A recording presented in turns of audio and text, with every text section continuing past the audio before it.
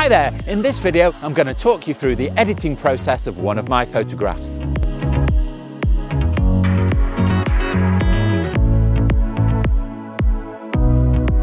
So in this video I'm going to talk you through all the steps of how I edit a photograph from start to finish, so I hope you'll find that useful.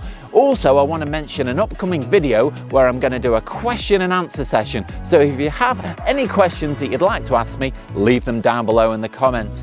Also, stay tuned to the end of the video because I'm going to announce the winner of the t-shirt competition from a few videos ago. So hopefully this video will really help you to enjoy your photography.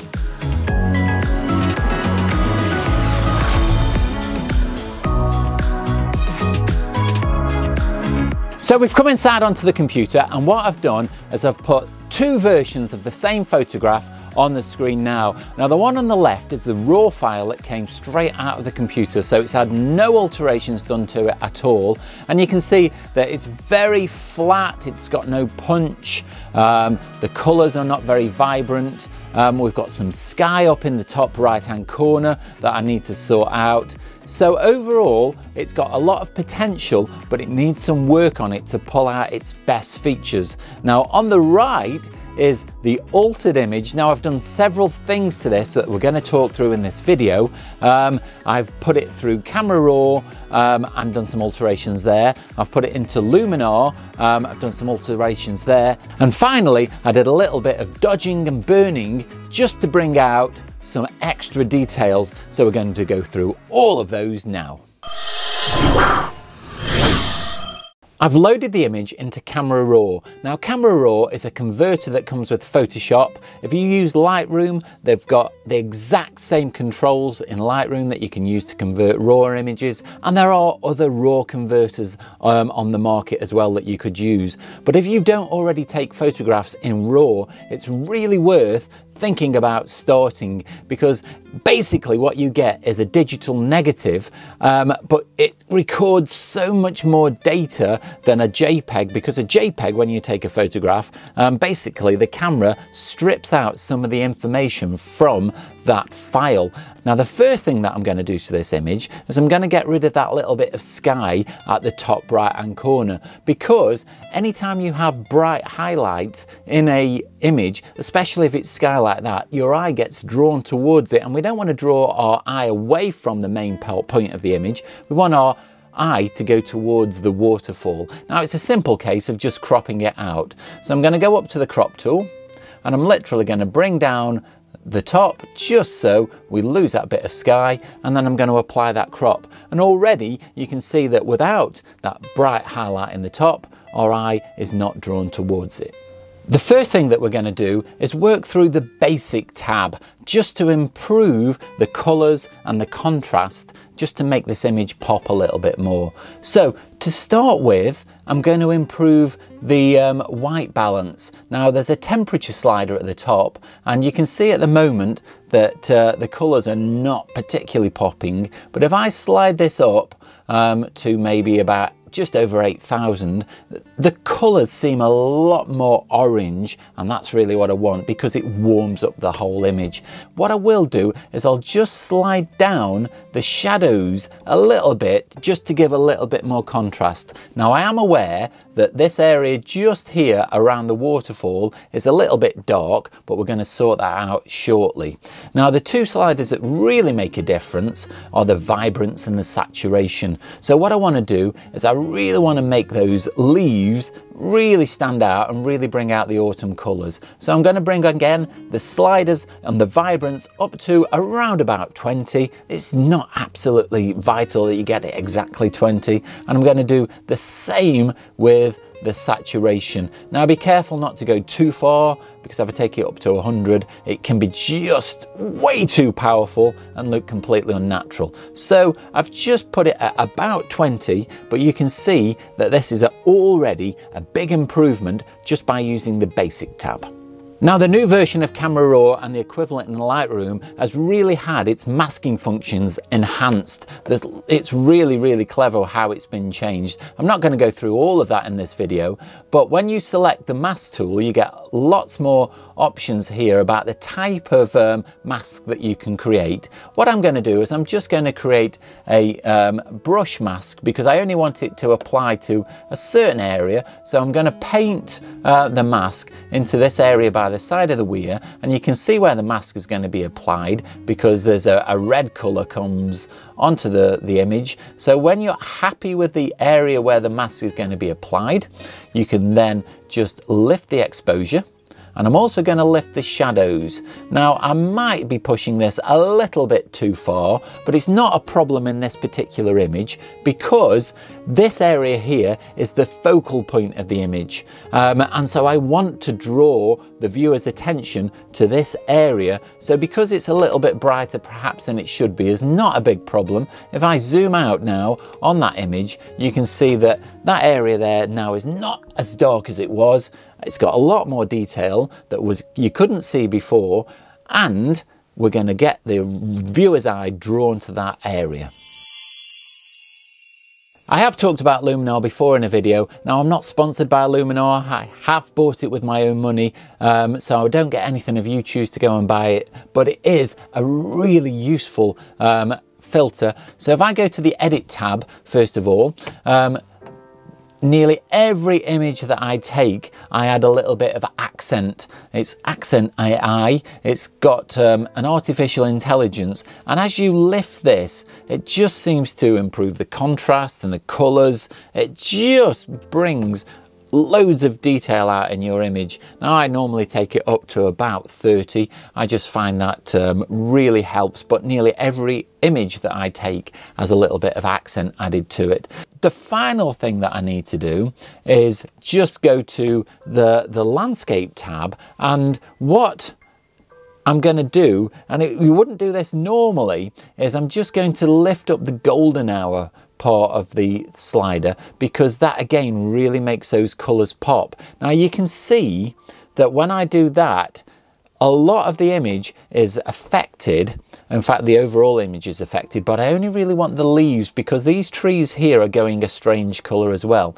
So what I'm going to do is I'm going to apply a mask and I'm just going to paint the area that I actually want this to be applied to. So I'm just going to apply this to the leaves and this will stop um, those tree trunks going a really strange colour. Maybe some of these leaves in this gap. And the same thing with the foliage enhancer. I'm just going to lift that a little bit because what that does is the greens Let's make sure I've got the greens highlighted. It just lifts some of these greens to make those um, stand out just a little bit more as well. One thing that I do to most images is add a vignette. Now Luminar does a really good job at adding a, vignette without it being particularly noticeable. Um, what the idea is, is to try and darken the corners to push the viewer's eye towards the center. Now you can take it way too far like that. Now in this instance, the corners are very, very dark and there's an obvious circle. Now that's not what you want to try and do. That is much, much too obvious. So we go back to nothing and slowly start to apply the vignette. You can see that the corners slowly start to dark, darken. And here we've got darker corners, but there's no obvious circle. So the viewer's eye is being pushed towards the center, but we can't actually discern why. And that's what we're looking for from a vignette. So the final tab that we're going to look at is the creative tab. Now there's lots of things that you can do in this. With this particular image, there's not many things that I need to actually change. So the only things I'm really going to do is I'm going to make the mystical slider a little bit higher. Now again, this is something that you can go too far with. Um, some people might like that kind of um, effect, but I don't think it's very natural. So I'm just going to wind that back. But what it is doing is it's just making the yellow highlights just pop a little bit more. I'm going to leave it at around about the, the high 30s because these areas of yellow leaves around here and the footpath just gets lifted and that's what I really want. Um, and I'm also going to add a little bit of glow. Um, not a lot, it's very subtle but again, looking at those areas of leaves, if you see what happens if you wind it all the way up to the top, you can see the areas that are really affected and those yellow areas really jump out when you take it up to 100%. So if I wind that back to only about 10, 12, those, um, if I turn that off, and turn it back on again, you can see those yellow areas of leaves just pop a little bit more and it just adds a little bit more depth and um, layers to the image. So the final thing that I'm going to do uh, in this image is some dodging and burning. Now if I was to use the dodge and burn tool from the toolbar on the left hand side, it can be destructive. Now what that means is it changes your original image and now you should avoid doing that at all costs. Try and do things that you can revert back to the way that they were so your original image is not um, um, changed at all what I'm going to do is I'm going to create a new layer that I can do my changes on and so I can turn that layer on and off or completely delete it if I'm not happy with the changes that I've made. So what I'm going to do is if you hold down the Alt key and click the new layer um, button, which is down in the bottom, which is a little, um, the bottom of the layers palette, which is a little plus sign, you'll get this window appear and you can select the mode. If I select overlay from the mode and I fill that with an, a 50% gray, then what will happen because of the overlay mode, you can't see it at all because that 50% grey just becomes completely transparent. But I can now paint onto that with black or white and that will have the same effect as the dodge and burn tool. Select white as your foreground colour and an opacity of about 10% because I don't want this um, effect to be really strong. I'll just show you what happens if I do paint with white at 100%. You can see that the brightness is far too much. Uh, it, the effect is just too strong. So if I make the uh, um, the opacity down to 10%. Now I did that very quickly by just using the number keys. To select 100%, I select use zero, and to select 10%, I use the number one. It's just a very quick way of selecting um, different opacities. But I'm going to now paint onto certain areas and I really want to focus on the area around the waterfall. I want to brighten that area up because I want the again the viewer's eye to be drawn to that particular spot. And I'm just going to just subtly um, paint over the top of this bank here just to make that stand out. And if I just turn that on and off again you can see that that area there has just been enhanced ever so slightly. Now you could do that over the entire image if you wanted. If I'd got more time, I might be um, spending a little bit of time doing that. Now, overall, because I've been talking and working at the same time, um, I might not have edited this exactly how I would um, if I was doing it for real because I would take more time over it. And it's a good idea once you've done some edits to then leave it go away, have a break. Because when you're making edits on top of another edit, you start to become a little bit blind to how the overall image looks. You might have gone a little bit too far with the saturation or something might not be quite right. So it's a good idea to just have a break, come back to it again and just see whether everything that you've done really makes it better or whether you've gone a little bit too far and it makes it worse.